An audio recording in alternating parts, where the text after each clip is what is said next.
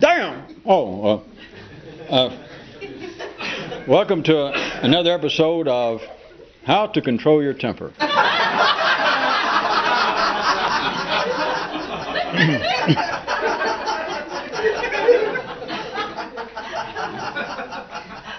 I'm sorry, that's not true. It's, uh, what I was going to say was, as, as, a lot of you know who watch, uh, I want to say good evening. I am Rabbi O'Herlihy, along with the Navarro brothers, and we are proud again to be able here in the closing moments to offer the evening vespers as we close out another fine day of fine programming here on your cable. St- oh yeah, and we would like to thank. She just left. Uh, the midnight Dominatrix, or whatever she calls herself, and another great, another great cable show. And oh yeah, she wanted me. She forgot. She wanted me to be sure and give credit that the chains and whips are courtesy of Big Al Security shop here here in Oklahoma City. Oh, and Big Al, Big Al Security, where their motto is, we don't have a motto because it's locked up in the safe and we can't get in. We don't know what it is.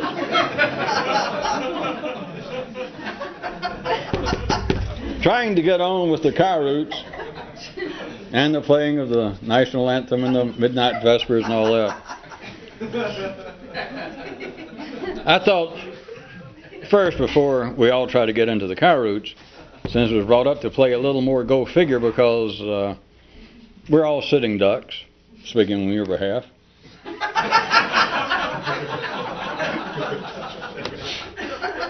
For the kinds of messages, the kinds of things that life just generally makes available. And several of them I kind of brought up as examples, and it's tied in. I think it's time that we can use them again. It's tied in to some of the things Kyra's been talking about. It's simply about how life is going on in certain ways. Life whispers, life waves, life says all sorts of things, and people just stand there as they're supposed to, or else life would really be ticked off, probably surprised. And people don't notice. Several of things that Kyroot's brought up. Just since we don't have much time, I don't have to go to a lot of trouble trying to hint and wink that they might be connected to the Kyroots. Because uh, as per the third from the last Kyroot tonight of the viewer who said that first he found all this fascinating but then life being what it is, and he referred to his brother, began to watch it. And his brother you know, pointed out that there's nothing to be fascinated about, and you're making a mistake. The guy pointed out life and everything being what it is, that even though he deeply regretted it, he didn't know what else to do other than now have to agree with his brother and life. So I'm sure you see how the connection is laid now, irretrievably deep within the still hot asphalt, and we'll roll on. Two things come to mind. I stole that line from a Baptist preacher. So I, I like to give him credit.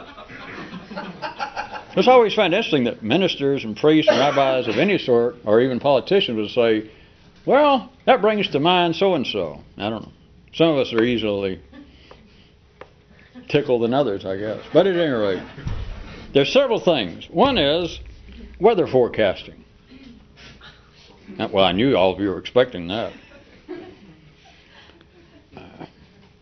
Besides the scientific, uh, I guess, anti mea culpa's explanations as to why they cannot uh, forecast the weather, and they can certainly explain why it can't be done. And it can't, with humans knowing what they know.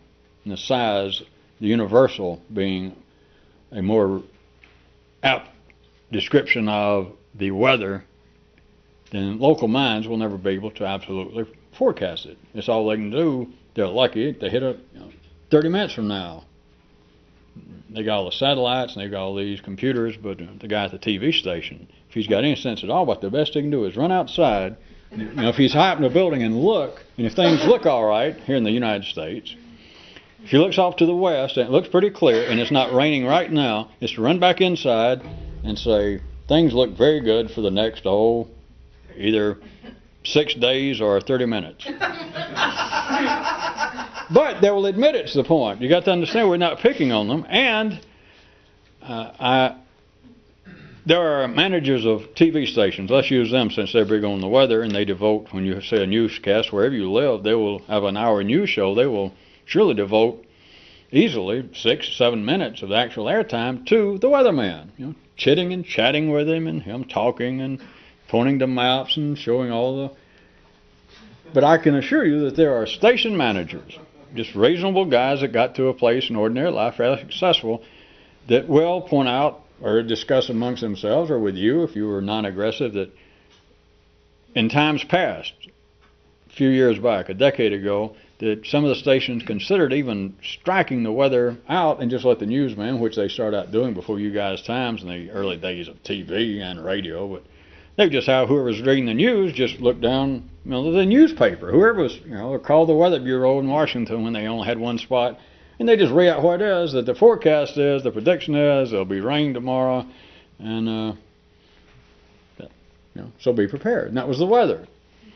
Some of the people, as I started to say, that those even involved said that they had decided at one time that it was even detrimental to the apparent integrity of the news program to turn around and devote a large segment of a guy coming out there dressed up, and they were used to flash. You know, they had a doctor's degree in meteorology from Stanford and do all of this, and the guy say, well, and tomorrow it will be doing so and so. It will be sunny and it will be 65, and you get tomorrow morning and it rains for the next 48 hours and it's freezing. And this goes on consistently. we're not attacking. You got to follow this now. And I'm using the station manager, just trying to get you to see how life dances with itself via man.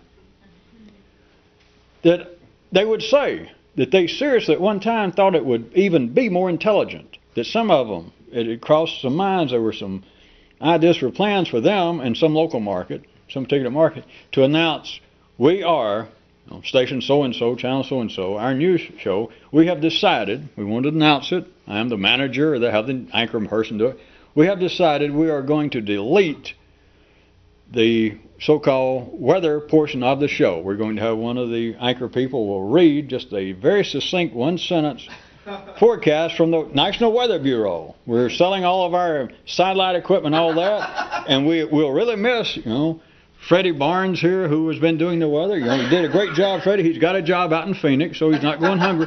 But we've decided, as all of you should know, that people can't forecast the weather. He knows it. He went to school. You can't do it. It's just 30 minutes. You're lucky if you can say it 30. So it just seems ridiculous for us to do that. But then they thought, these have station managers, and you should be doing this already for life. Then they thought, well, wait a minute.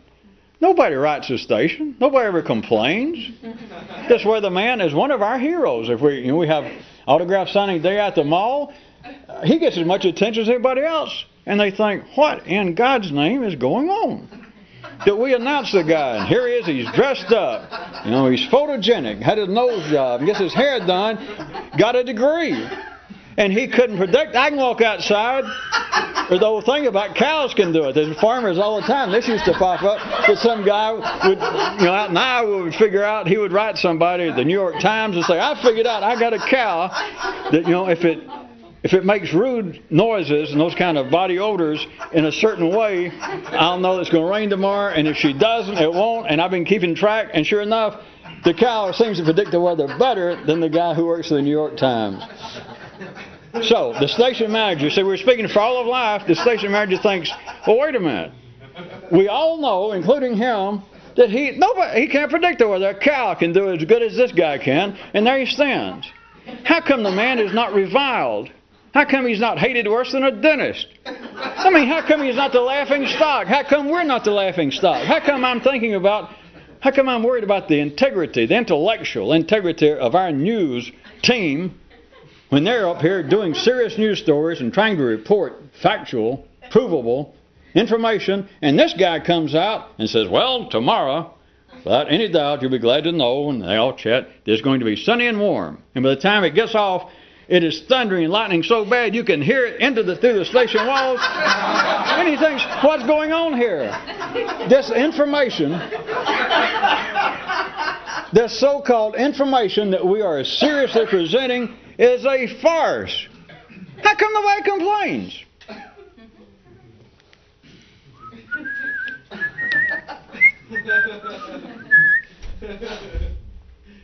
Huh? I mean, what new people that's been hit, we've been talking about the secondary world, seriousness, hobbies, foolishness, the difference or the lack thereof, or the connection between entertainment and information. You don't remember the Kyroots that pointed out that you won't like something unless you will, you won't believe something unless you like who said it. There's no connection between that and people being able to stand up a weatherman. At least you think we're picking on a weatherman. How about this? Let's see. Instead of a weatherman, how about just for instance, how about the Pope?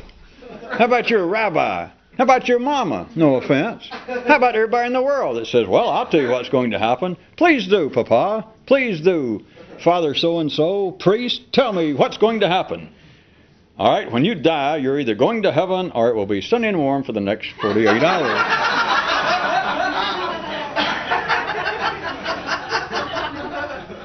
Because from one serious view, rather than just pick on weathermen now, from one serious, ordinary view, if you're just intellectual, at the ordinary level, not anti-religious, not real aggressive, you just take, let's jump from weather to religion, and think, how is it that I and the rest of the world throughout history has sat still, not for just popes and rabbis, but people sitting out in villages 5,000 years ago, and one of the guys that they grew up with wanders off for a while, and you know, God knows what he did. We don't talk about it, but he wanders out of the village, and a couple years later, he comes back looking a little, a little different than he did when he left. Let's say, and he comes back and he's wearing, you know, a buffalo skull on his head, and he's wrapped branches around here. And rather than, which you look back and you think, well, they should all gone. God damn, the man is the original crazy person. Rather than that, he comes in and says, oh, oh, and he says he's got a message from the gods. And it all got started. And you look back and think, how come they didn't laugh the man out of town? Or how come they didn't, you know, say, get away from me? You know, you're crazier than a weather forecaster, even though, before they knew what it was. But they didn't. Because now the mind tells you that there's a difference, there is a need for serious information. If that's true, how do you explain the fact that you sit there and you will turn the TV? You could be an atheist, but you don't get wet. So I hear and you'll turn the TV and you'll, you'll wait and you'll say, shh, and you'll keep an ear out if you don't listen to the rest of the news to hear what the weather forecast is, and you're an idiot. I mean, you've got to know that, or either that you've got the world's worst memory. How about that? You don't remember that you can flip a coin. That's a lot better. That's even safer than a cow. Just flip a coin. Is it going to rain tomorrow night? Heads or tails? That's it. The difference between, if there is any, between entertainment and information, what makes the secondary world go around, and what validity, if any? I'm not saying, I'm just bringing up, it's not up to me, I'm like a philosopher. It's not up to me to furnish, I like this, the answers. I can only bring up the questions. what connection, if any, is there between entertainment and what seems to be information? Serious information, not just the weather, but what happens after you die. What's the purpose in life? I don't know. Ask Freddie Barnes here, the old great weatherman. The third other three minutes, I wanted to say one more thing. Uh, this brings up, it combines two, count them two, flavors in one. It was the Navarro brothers that used to always be trying to sleep with twins. Except them being the Navarro brothers, it wasn't that they just tried to sleep with twins. What they wanted was to sleep with two sets of twins. So one time lately, I brought up for another reason. If you recall, I brought up, without just mentioning names is not the point, but there was a beautiful example that we have a well-known uh, politician, man in high office, that uh, has been reputed, and by observations that you could make just sitting home watching your own TV set, man in a very high position that seems to have the IQ of not yet dried asphalt. And is in a very high position in city affairs. For another reason, I was using him as example, and him still not being the point, of course, but as another example that not only had that happened beginning, I guess, now four years ago, more or less, but now there had become, after that, like an aftermarket wherein people were discussing, books were being written, reputations attempted to be made over debating. Now, is he actually that stupid? And I was pointing out for another reason that don't worry about somebody that stupid. What you should worry about, not one person, even if in a high position, but the general level of intelligence of everybody that there is a discussion over is he that stupid? You know, don't worry about him. Worry about that. You know, half the population is going. Well, I don't know. You know, that, there's your worry. All right, that's to bring you up to speed. Now we got 60 seconds. Now I want to ask you. Now everybody knows what we're talking about. I assume we recall. Now, I brought that for one reason, but now let's expand it. How about into the great world of conspiracies? Now think about, even though he's not the point, all of you I assume know who I'm talking about. It could be there in other countries they got people like this. But assume think about let's assume that this guy is as stupid, just intellectually as dense, an accidental low rider out on the streets, out in the neural streets. Accidentally, just his shocks are gone if you ever had any. I assume assume that you know let's assume that all of you agreed well he is. Think about this. Then, then ask yourself right quick this kind of question. Now, follow me because we're not talking about individuals. That's not the point. And we're not talking about the kind of literal conspiracies that pea brains worry about. And were you still rang at all? All right. He got there. He was selected by somebody. It, it, it took some doing for him to get where he is. Then ask, well, how in the world did that happen? What could be the purpose? I mean, just accidentally, people are, the machinery of life is such that how could an imbecile end up in a big position? Assume that, that let's uh, just assume up to this point that he is just an idiot. Now back to conspiracies. Then ask yourself, wait a minute, that's not possible. An imbecile, really, if a man anywhere, even if he was twice, if he was ten times as intelligent as he seems, he'd still be too stupid to be in an important position. Something is wrong. How about this? What if he's not? What if he's not even anywhere close to stupid? What if it's part of the conspiracy to periodically run somebody like that up in the public consciousness so that the idiots, no offense, I mean, you, can identify yourself, that the rest of the imbeciles can laugh at him and think, Jesus Christ, we got imbeciles, we got idiots like that in positions of authority. Ha, ha, ha, ha. And what if he's named close to an imbecile? What if there are whole areas, shall we say, of imbeciles that we haven't even pointed at lately? and it certainly, what if it's certainly not him or those that helped him getting the power? Which again, you should ask, well, if he is that stupid, if he is just that much of an idiot, how in the hell, why would anybody allow it that was around?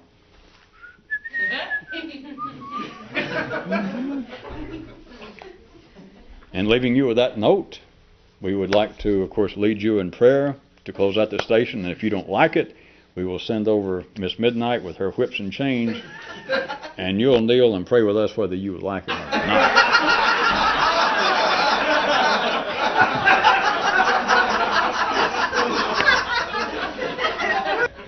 Hello, all you people on audio. Uh, all you fine people in Arizona, Clyde, all you fine people in California, in Oregon, Montana. Oh, and Toronto again. Welcome back, especially to Bob. And Philadelphia.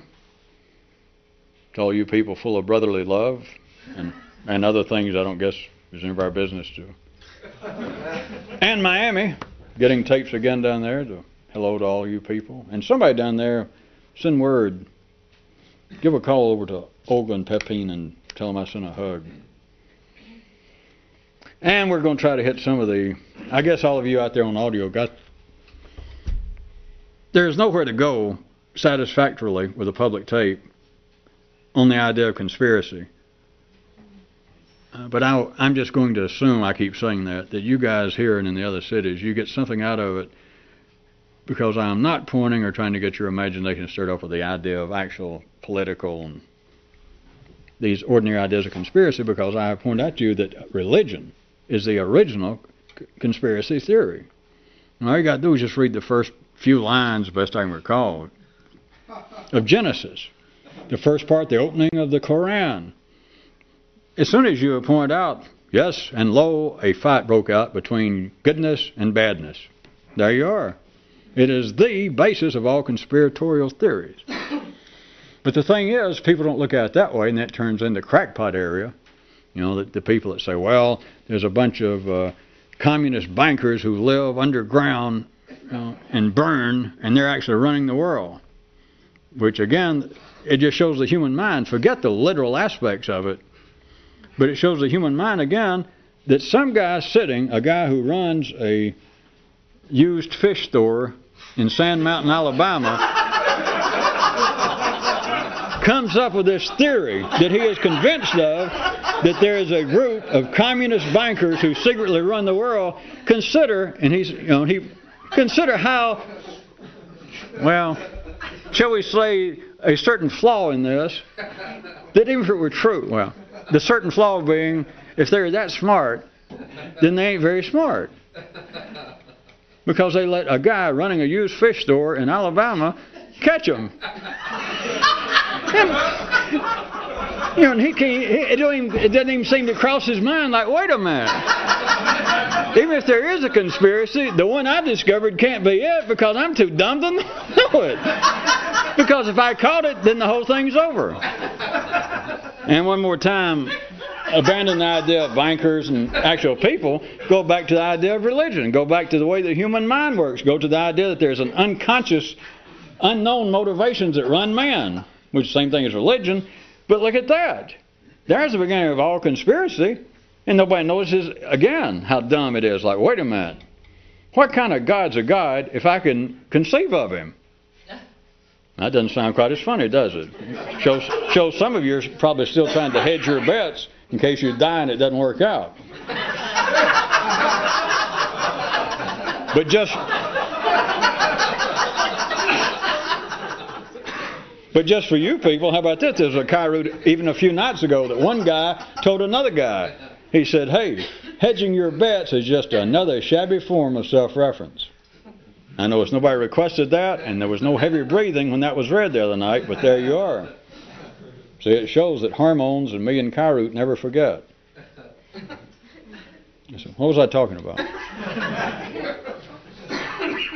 The conspiratorial, conspiratorial theories, I just wanted to point out that the man in the high office that we're talking about is just, and may I say one more time, I am not pointing you, even talking to you guys, specifically in some direction. There is no end to this sentence. Well, there is, but I can't tell you what the end of the sentence is.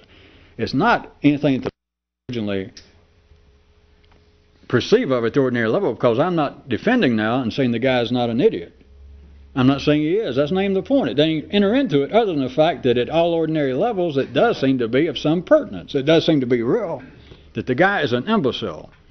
And nobody has ever asked at the ordinary level in any meaningful way. Nobody has ever asked, wait a minute.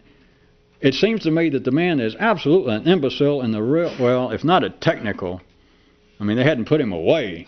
But Jesus, he is a walking colloquial example of an imbecile. But then nobody, no reporter, no critic of the administration, no one has ever said, wait a minute, how in the hell could a man who ended up being the head of this country personally select a man who's obviously an imbecile? Why in the hell would he do that? What in the world's going on? Nobody ever asked that. Never.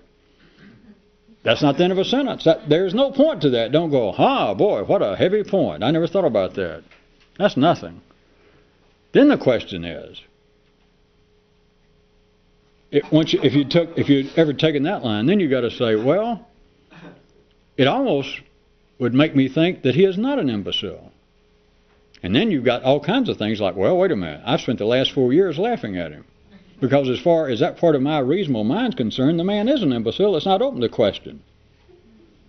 But then you think, wait a minute, how can it be that he is obviously an imbecile, even to my precise clinical way of thinking, and then for me to think that there is no way, there is no basis, there is no historical precedent, there is nothing in my wiring system at the best possible level, just in everyday affairs, that would lead me to believe that in this part of the world, in this day and time, that an imbecile would accidentally suddenly rise right at the top.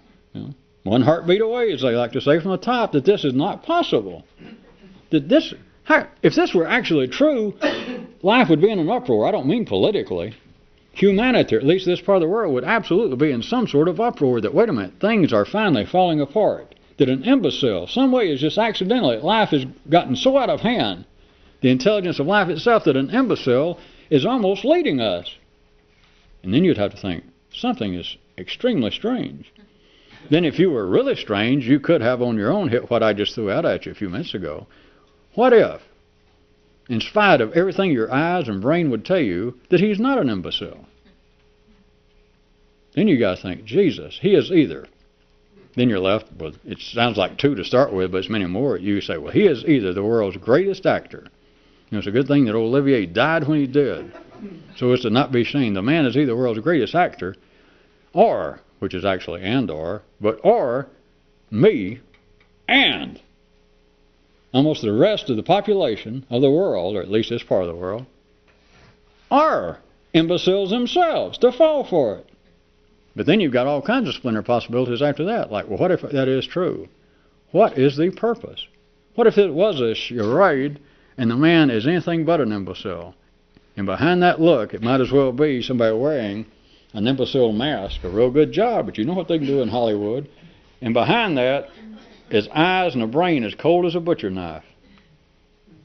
And knows quite well because he's playing a part to be a high ranking imbecile.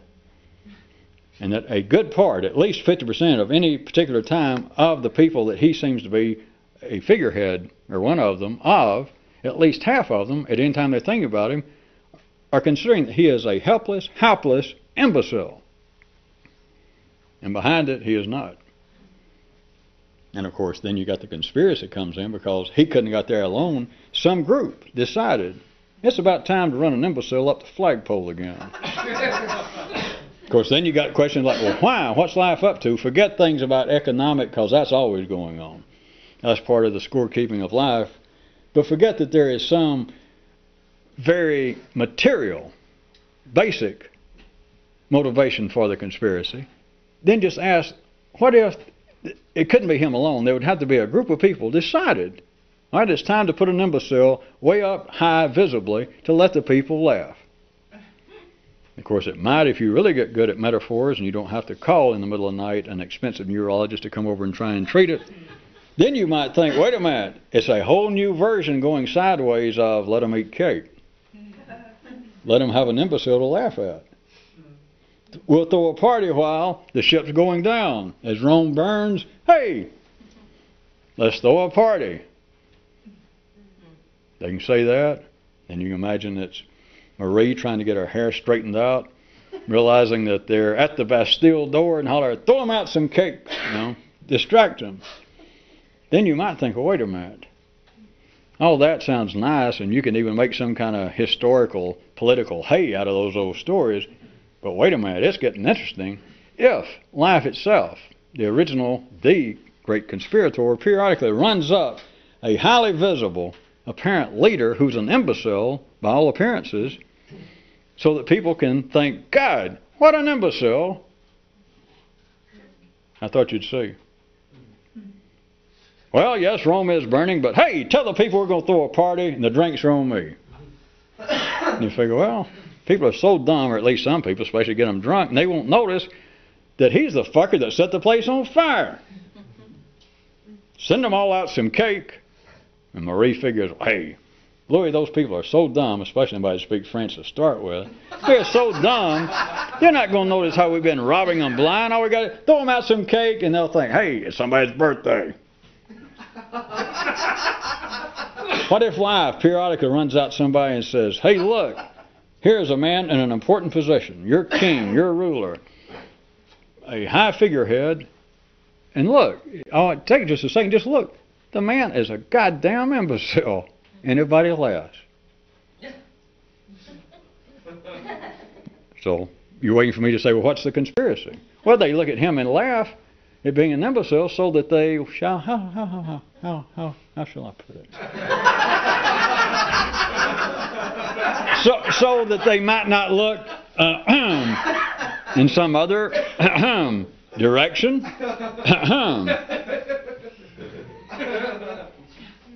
Did not get too obscure. Well, Walt Kelly's dead, so I'll put it this way. I'll paraphrase one of his mythical heroes. Somebody look and says, We have met Nero, and we are him.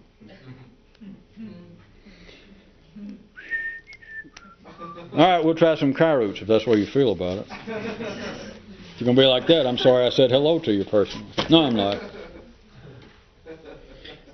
There were four or five in here having to do with the pugilistic arts. I assume you saw how they were tied together, but somebody's already the first one requested, and Kyroot noted. One of the neighbor soreheads, he blames it on the sorehead, told the milkman as he stopped by, quote, shadowboxing, punching bags, and using tankers, stumble bomb sparring partners, that is. Kyroot's not sure he knew what a tanker was.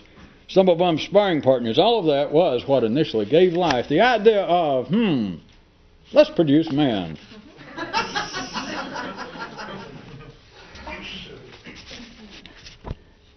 and of course, give him somebody to laugh at. I tried to refrain, but I'm actually going to weaken. You know, I pointed out, I assume some of you might have gotten something metaphorically, if you didn't hurt yourself, out of the idea of having an imbecile to laugh at. But uh, may I assume rhetorically that some of you could have on your own jumped a little past laughing at somebody and having somebody to revere, like a spiritual figure, a hero, a prophet. Because if you can see with at least three or four eyes, it is the Oh, same thing. I'll go ahead and. Well, at least we have somebody to revere. And a guy says at the bottom of the car, Well, that's strange. My brother and I used to have somebody to laugh at. Uh-huh. And they looked at each other and says, Would you like to dance? Known as instant Kyroot. And we'll instantly move on. Two guys were talking, the first one said, wouldn't it really be something if there is a single great secret of life? No one said, Yeah, but wouldn't it also be something if there wasn't? And they both went, Yeah, and figured out about covered it. Which, if you have no imbeciles or heroes, about covers it. In the normal course of urban development, said Kyroot, it will eventually come to pass that the dirtier the bus, the more people will want to get on it. You know what that means. Yeah, if you're ordinary, you could try and make something crude out of it. What it means is, is that progress is rolling on. But then if you're really good, we could do our own instant code again and say, well, wait a minute. Then what's a revolution is going to ride?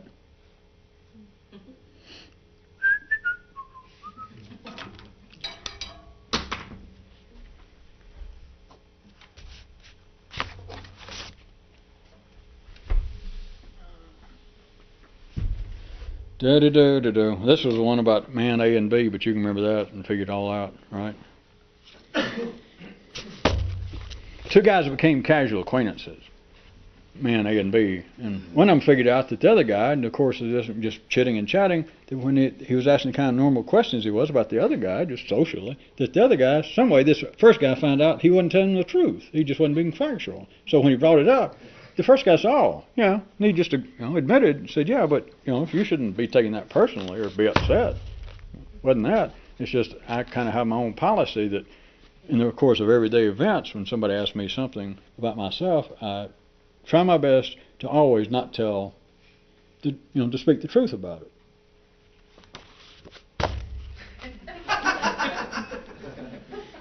that was a paraphrasing, of course. And later, if you remember, the guy thought about it and thought, that's kind of a neat thing. Maybe, maybe I should take that up. But knew that he couldn't. A man says, I would have bet somebody would ask for this one. What did you bet? Do you know what it is? I don't even have to read it. A man says, hormones start spiked, then wear down. And a woman said, ours start round, then flatten out. And almost all ordinary people who might have heard that got together and went, hey, give us a break. Change the subject, they said.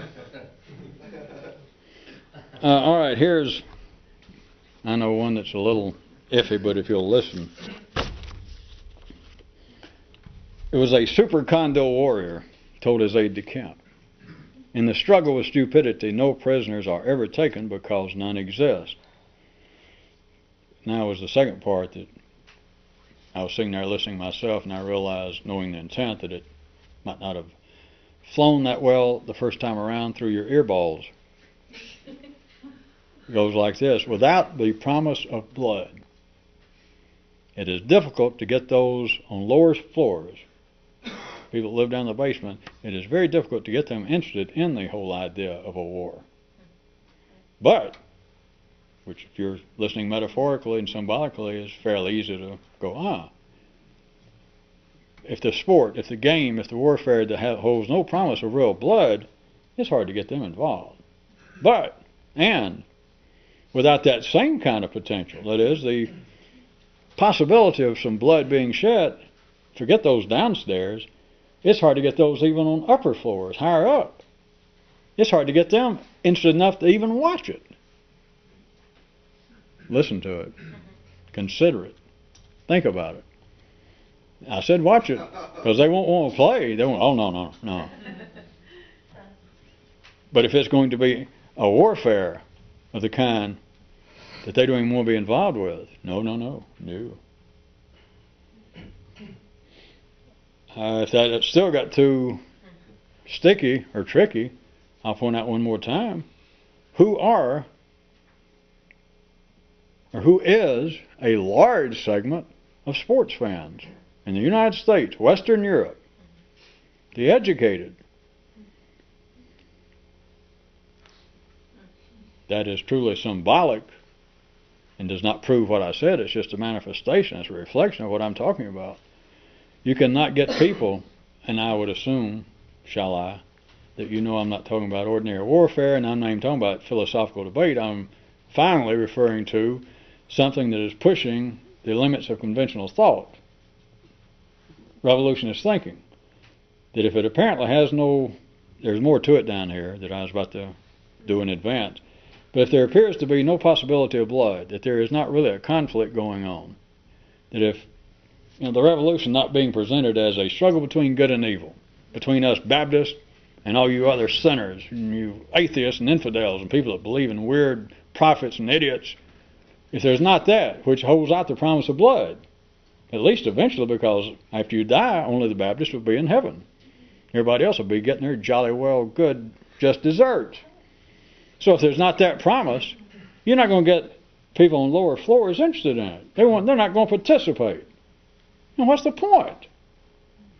But you know, we're still talking about ordinary city buildings, that is, city people, city nervous systems. You're going up higher up the nervous system, on up the condo, and through the educated, the intellectuals at the ordinary level. And at first you might say, well, they've got to be a you know a better possible field. If there's no promise for blood, now remember, we're not talking about them not participating. They won't even watch. That is, they won't entertain. Well, what's the point? Nobody's going to bleed, if it's not me. Error's not going to be trounced. And if you point out, well, not really. Of course, not bothering to tell them the truth, like, what do you mean, era? For those of you that didn't really get the one about the, the guy that says, You mean like predestination? And the guy said, What the hell is that? All right. Without the same kind of promise of blood, it's tricky, dicey to even get those at higher levels to even watch it. Remember, not just watch it on TV, which was fit into the story of us being on cable and places. When I say watch it, they won't even think about it. They won't read about it. It just, what's the point? That those lower down won't participate, and those higher up won't even think about it. They won't entertain it. Third part of this particular Kyroot. Thus, noted Kyroot. This is him talking now. I have just verbally laid before you again a primo example of how the two main dwellers in humanity, those at the lower level and those at the upper, would think about the revolution if they were to and could. And Kyroot said, Oh, all right, here's a parting picturization that I already hit. But the revolution he defined. The universe is only a game that has two teams, which only has one. there is another follow up to that that I didn't include, and I guess I'll do it Monday. So if you'll remember that one, it should have been included tonight, but damn, well, I wasn't expecting this kind of weather and something.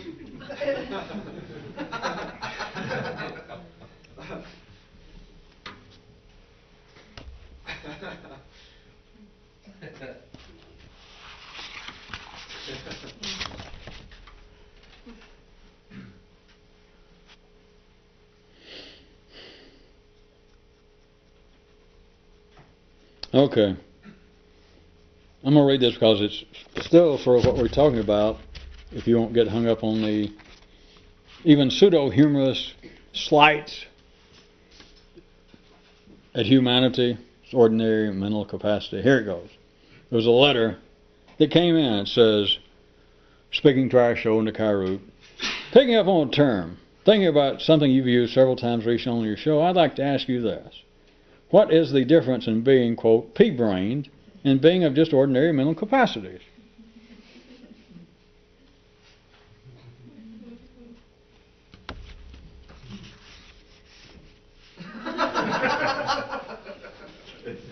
Those of you with some memory may recall that there was more to the page that Kyroot, in essence, says, hey, what he was saying is, do I have to say anything? Did you hear what just went on?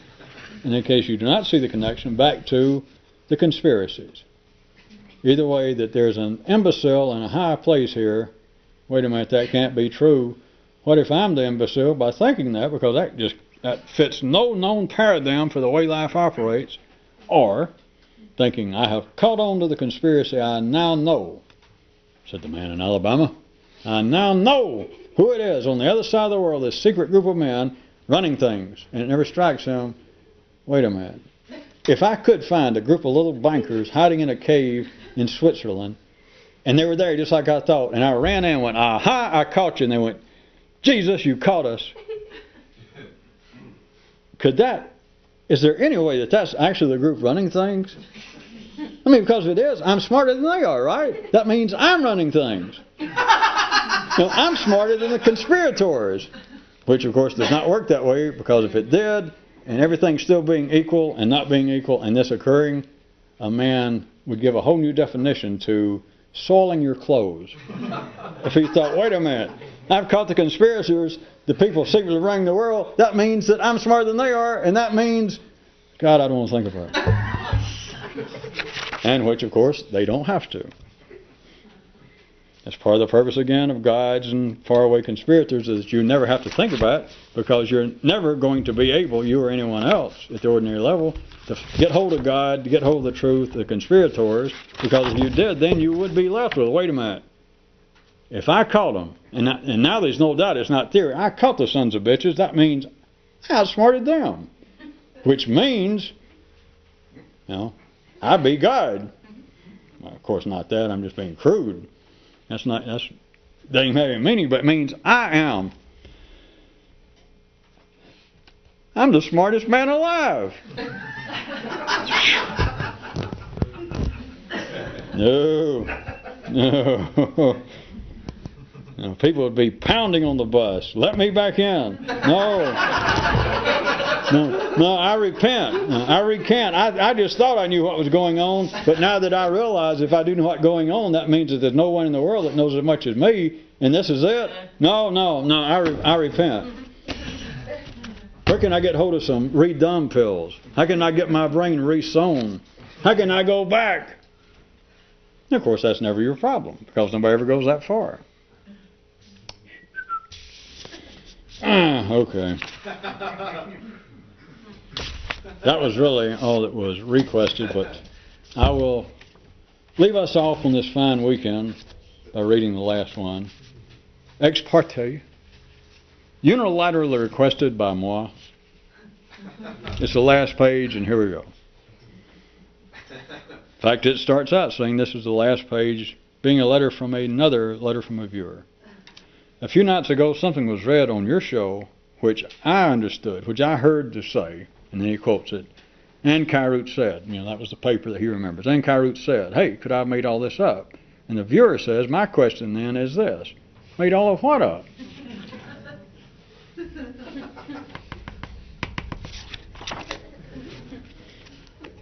all you people out there in the other cities, tell yourself hi, give yourself a hug. And you should do something. I ask you again about getting some fresh bodies in these other cities because those of you that are still, shall we say, sincerely interested, could be adverse to your own best interest if any of you people getting a less body showing up. Not trying to be threatening, but it could be not in your best interest. But other than that, right if you get work.